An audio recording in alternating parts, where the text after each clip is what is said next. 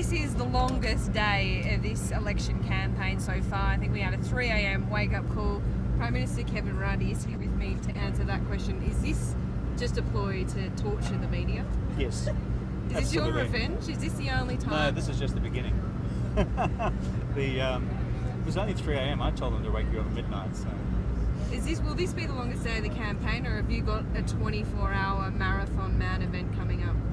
no, I'm not much into marathons because I'd probably run out of puff. But um, I believe in making the most out of every day. You get up, you um, get a spring in your step, and say, "This is what I'm on about. This is what I want to do.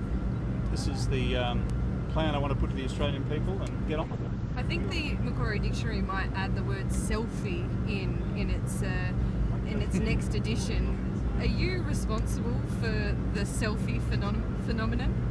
No, no, actually, one of the kids in my electorate introduced me to selfies about a year or so ago.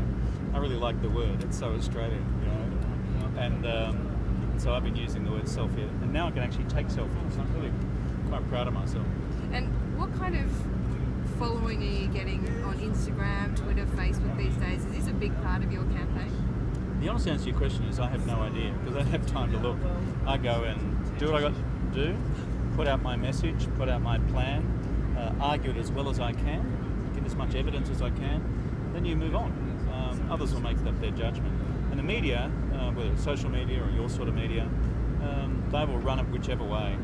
Uh, I'm just about communicating positive stuff for the country's future. Now, we are have just left Darwin. We're on our way to Kununurra. Yes. And you say you love the top end. Is this your favourite part of campaigning? This part of Australia? Well, it's hard to go past it. I mean, um, whenever you're flying up here, you just think of crocs, don't you? Mean, it's full of crocs down there. So the NT News is your favourite newspaper. The NT News is my favourite newspaper, and um, I think it's got huge potential uh, as a as a global masthead.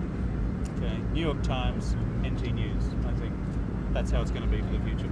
Prime Minister Kevin Rudd, thanks so much. Good to be with you.